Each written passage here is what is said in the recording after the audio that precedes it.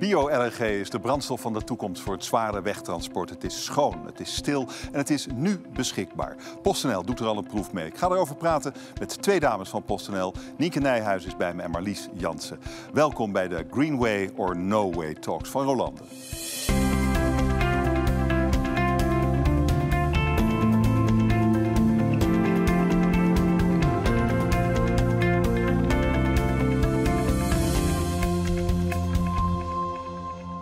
Marlies, Nienke, welkom. Fijn dat jullie er zijn. Uh, Marlies, jij bent de manager transport bij PostNL. Jij bent de manager duurzaamheid bij PostNL. Uh, Marlies, mag ik jou vragen, hoeveel vrachtwagens heeft PostNL? PostNL heeft 225 eigen vrachtwagens. Oké, okay, en nog een heleboel transporteurs die voor PostNL rijden. En een heleboel transporteurs, inderdaad. En hoeveel daarvan uh, rijden nu op bio-LNG? 25. Oké, okay, daar is nog wel wat te winnen dan. Zeker weten. Jullie doen een proef uh, ja. hiermee. Uh, het is een mengsel, uh, ja. denk ik. 80% LNG en 20% bio. Ja. Um, hoe bevalt de proef tot zover? Goed. Um, dus wij rijden meer LNG-voertuigen. Dus wij rijden 60 LNG-voertuigen in het totaal. Een deel dus nog gewoon op gewone LNG, een deel op bio-LNG. En eigenlijk merken wij geen verschil. De proef is geslaagd eigenlijk. Ja, daarmee is voor ons de proef ja, geslaagd. Want de duurzaamheid, en dat is natuurlijk toch echt waar wij het om doen, die is vele malen beter. Oké, okay, Nienke, wat, wat is de rol van bio-LNG uh, in het totale pakket van de duurzaamheidsambitie van PostNL?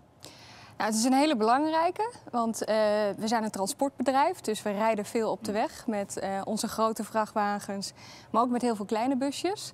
En we zijn eigenlijk aan het kijken wat zijn alle initiatieven die er zijn om groener te rijden. En binnen het grote transport is bio-LNG een voorhanden zijnde optie die gewoon zorgt voor minder CO2-uitstoot. Dus hoeveel, hoeveel procent minder in, het, in, in de hele uitstoot van PostNL, weet je dat? Bio-LNG? Ja, wat, wat zou het schelen als het allemaal uh, op biogas zou rijden? Um, is even afhankelijk wat de blend natuurlijk is uh, uh, van, van bio-LNG. Maar stel dat die 100% is, wat die nu nog niet is. Dan zorgt dat in vergelijking met ehm, diesel, fossiele diesel, voor meer dan 90% CO2-reductie. Dat is een enorme reductie. Dat is een enorme reductie, ja. Dus dit is een no-brainer. Dit moet je gewoon doen. Nou, dat is ook waarom we het doen. Ja. ja, nee, maar goed, van nu 25 trucks als proef. Wanneer zijn ze allemaal op biogas? Nou, dat is een goede vraag. Uh, dus allereerst worden wij natuurlijk heel blij als zo dadelijk het percentage van die blend langzaamaan omhoog gaat. Dat, uh, dat is voor ons erg belangrijk. Uh, daarnaast onze andere LNG-voertuigen zou ik graag ook bio-LNG gaan rijden. Maar dat betekent wel dat het ook breder beschikbaar moet zijn. En daarnaast zijn er ook andere duurzame varianten waar wij naar kijken, die tot de mogelijkheden voor de toekomst gaan behoren. Elektriciteit, waterstof.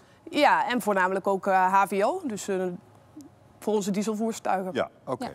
Dus diesel is niet weg dan? Nee, ik denk dat het altijd een mix van brandstoffen zal blijven. Um, zou je wel je kunnen voorstellen dat bio-LNG daarvan het grootste deel zou zijn? Um, nou, zeker als ik kijk naar onze eigen vloot zitten daar, zijn daar mogelijkheden. Zeker waar. Je ziet wel in onze charterbranche, dus in de markt die wij nog inkopen, dat, dat, ja, dat we daar nog echt aan het begin staan van die ontwikkeling. Aan het begin van die weg. En dan is diesel en zeker ook varianten die op diesel, uh, schonere varianten van diesel, zijn dan ook echt interessant. Uh, Oké. Uh, maar ik vroeg eigenlijk, hoe groot kan het aandeel LNG, uh, bio-LNG, op termijn worden in alles wat jullie verstoken in auto's? Nou, alles wat we verstoken in auto's is voor mij lastig om, uh, om te zeggen. Want ik, uh, ik ben verantwoordelijk voor, onze grote, voor ons groot transport en voor ons grootwagenpark. Uh, nou, doe eens een guess, de helft. Maar dan kijk ik vooral naar mijn eigen wagenpark. Oké. Okay. Is dat genoeg, vraag ik aan de duurzaamheidsmanager?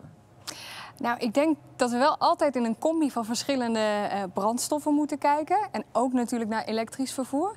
Want ik denk in, in de verre toekomst dat elektrisch, dat heeft 0% uitstoot. Eventjes los van hoe zo'n batterij natuurlijk wordt, uh, wordt gemaakt. Maar als je gewoon kijkt wat het op de weg verbrandt, is dat, uh, is dat natuurlijk niets. Elektriciteit moet je natuurlijk ook kijken naar hoe het wordt opgewekt.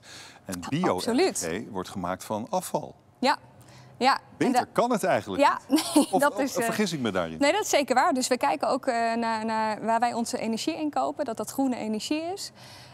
Die halen we ook vanaf dit jaar uit Nederland. Dus dat het groene Nederlandse energie is. Dus daar moet je absoluut ook naar kijken dat je wel in die hele keten die verduurzaming meeneemt. Maar om terug te komen op je vraag, denk ik heel erg dat het een mix is van alle initiatieven die er zijn. we hebben een ambitie om in 2030 onze last mile geheel 100% uitstootvrij te doen. En ook voor ons uh, transport met, uh, met de trucks, wat we tussen, tussen sorteerdepots doen. Uh, dat we dat aanzienlijk reduceren, die CO2-uitstoot. En um, het is nu 2020 en het, er zijn meerdere initiatieven om op hmm. in te zetten. En we testen ze graag allemaal, welke voor ons het meest geschikt zijn om in 2030 zoveel mogelijk te kunnen reduceren. En nu ook al natuurlijk. Je zei net, Marlies, over uh, de proef, wat je nu ziet, is eigenlijk om het echt groot uit te rollen. Zou je meer uh, mogelijkheden moeten hebben om te tanken? Ja, klopt. Uh, waar loop je nu tegenaan? Want er zijn volgens mij 26 tankstations in Nederland waar ze bio-LNG verkopen. Dus dat zou eigenlijk best moeten kunnen. Nou, ik heb 42 opstapplaatsen in Nederland. En dit is toch belangrijk, zeker als je kijkt naar ook echt verduurzaming in het geel, is dat je geen extra kilometers gaat rijden om naar het dichtstbijzijnde tankstation ja. te komen. Uh, en dat is, um, ja, dat is gewoon nu nog best lastig. Dus het is lastig om al die voertuigen ook daadwerkelijk dicht bij een tankstation te hmm. zetten. Dus je zou op die 42 opstapplaatsen een tankstation moeten hebben? Nou, je zou daar in de buurt inderdaad de mogelijkheid moeten hebben om te kunnen tanken. Oké, en wat doe je om dat voor elkaar te krijgen? Nou, daarin doen we in ieder geval mee met dit soort proeven van Roland. Want wij hopen daar natuurlijk mee dat dat ook weer groter en meer bereikbaar wordt. Ik denk dat Roland ze best neer wil zetten. Nou, dat hoop ik. Alleen is dan natuurlijk de vraag wie gaat ze betalen. Zeker. Oké. Ehm, dan is er nog de aanschafprijs van, een, uh, van, van zo'n truck. Die is, die is duurder. Ja, klopt. Um, is dat een bezwaar op een of andere manier? Uh, nou, voor ons niet, omdat duurzaamheid echt een heel belangrijk onderwerp voor ons is. Uh, en zeker als je ziet hoe groot uh, het zware wegtransport dan telt voor PostNL. Hè. Als je een grote vrachtwagen stoot nu eenmaal veel meer uit dan een, een klein busje. Um, dan is de investering daar echt wel lonend voor. Oké. Okay. Um, dus eigenlijk, je, de, de CO2-uitstoot, het beperken van die CO2-uitstoot, heeft natuurlijk ook een waarde. Ja. Denk ik, hè, binnen PostNL. Kun je, kun je me uitleggen hoe dat werkt en wat precies dan de waarde is? Nou, wij zien dit heel erg als een license to operate.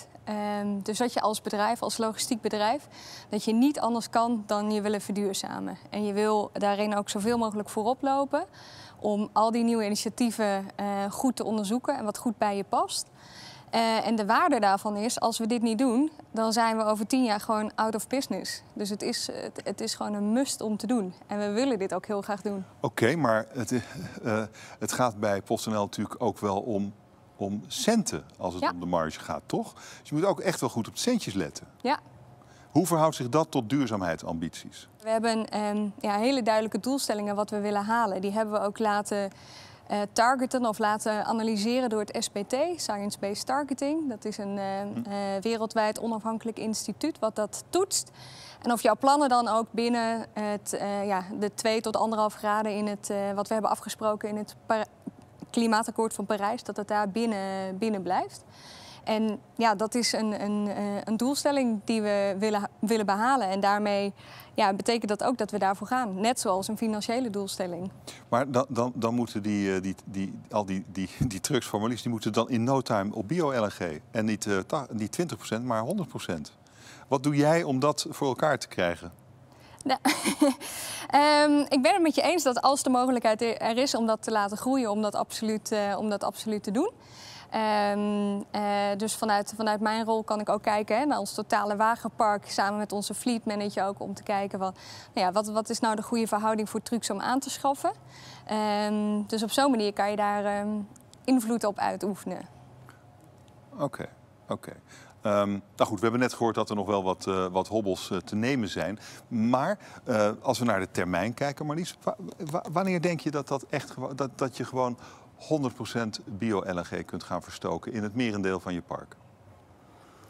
Um, dan heb je het over een meerjarenplan, maar niet over tientallen jaren. Dus dan heb je het echt over volgend jaar een, deel meer, het jaar daarna weer een deel daarbij. Eigenlijk vol continu eh, die lijn opbouwen van die groei in, uh, in CO2-uitstoot. Ja, en wat daarbij dan natuurlijk ook belangrijk is, is ook uit duurzaamheidsoogpunt natuurlijk, is dat er in Nederland uh, gefabriceerde bio-LNG ja. voorhanden is. Dat is nu nog niet zo, komt uit Scandinavië. Maar goed, dat is een kwestie van tijd ook, denk ik. Meer tankstations, ook een kwestie van tijd. Ja. Dit gaat dus groot worden. Uh, als het inderdaad. Dus kijk, wij kijken wat Nienke net ook al uitlegt. Wij kijken echt naar een mix in, uh, uh, in hmm. brandstof. Nou, maar ik bedoel eigenlijk meer in het algemeen. Ik bedoel, jij, jij, jij, jij kent je business natuurlijk. Mm -hmm. Nee, ik denk zeker. Dit wordt, dit wordt een onderdeel. wordt zeker een onderdeel in die mix. Zie je nu al, hè? Dat wij 60 mm. van onze voertuigen hebben omgezet in een wereld die echt nog traditioneel is. En ook die, waar we ook al geruime tijd mee rijden. Want de, nieuwe, de nieuwe LNG-aanschaf komt er alweer aan. Dus dat dat aandeel echt langzaam aan, uh, steeds langzamer uitbreidt en ook steeds sneller groot wordt, ja, dat is zeker aan de orde. En hoe krijg je uh, bedrijven die voor je rijden, zover dat ze aan de bio-LNG gaan? Ja, dat is een hele interessante vraag. Uh, want uh, dat ligt er ook aan van met hoe ziet je je inkoopmodel? Hè? Wat voor charters, wat voor partijen rij je mee? Uh, wij hebben een, een, model waarin we heel veel ook kleinere, midden- en kleinbedrijf partijen hebben die we, die we aan ons binden. En daar zie je dat dit thema echt nog, het thema duurzaamheid echt nog moet landen. Dus dat is voor ons een hele uitdaging om dat voor elkaar te gaan dus boksen. Jouw uitdaging? Ja. Hoe doe je dat? Hoe doe je dat? Het gesprek aangaan. Want ik geloof dat uh, duurzaamheid niet iets is van alleen PostNL. Dat is iets van ons allemaal. Iets van jou, iets van mij, uh, iets van Nienke. Uh, van ons allemaal. We willen allemaal die groenere wereld. en dat verhaal zullen wij moeten gaan brengen als okay, groot bedrijf. Daar ben, ik, daar ben ik natuurlijk helemaal voor. Mm -hmm. um, alleen als je het verhaal gaat vertellen, het verhaal kent ze natuurlijk al. het gaat om de business case. En als het grote PostNL zegt tegen, tegen de transporteur... Mm -hmm. wij gaan over een paar jaar helemaal op bio-LNG. Ja. Als je voor ons wilt rijden, moet je mee. Ja.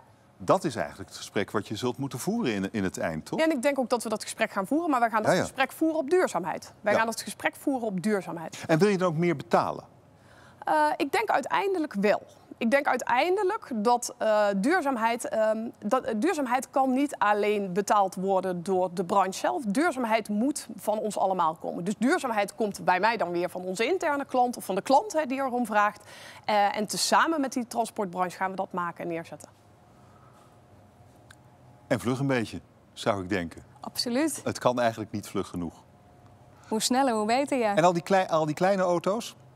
Dus de, de, de man met zijn, met, zijn, uh, met zijn uh, bus die bij mij de pakketjes ja. uh, in, de, in de brievenbus duwt, die rijdt gewoon op diesel. Nee, die rijdt niet op diesel. Nee. Nee? Nee, nee. ook daar hebben we een, een mix te pakken. Okay. we hebben een deel al elektrisch rijden, dus elektrische bussen. In Amsterdam en in Almere. Amersfoort komt eraan. een deel hebben we op CNG, dat is dan de variant oh ja. voor, een, voor een, een busje, zeg maar. Mm. Um, en ook daar gaan we een proef starten met uh, uh, biodiesel, dus die HVO oh ja. 100 brandstof. Uh, dus ook daar kijken we heel erg naar de mix. En wat we daar ook doen is dat we kijken van hey, kunnen we routes misschien ook met een ander soort voertuig vervoeren. Dus een dat bakfiets. Je... Exact. Ja? ja? Echt waar? Ja, ja, ja, een bakfiets of een goepel, zo'n klein elektrisch wagentje. Um, dus ja, daar testen we ook mee om, om het op die manier groen te kunnen bezorgen. Ik wens jullie heel veel succes en dank voor dit gesprek. Dank jullie zeer. Dank je wel.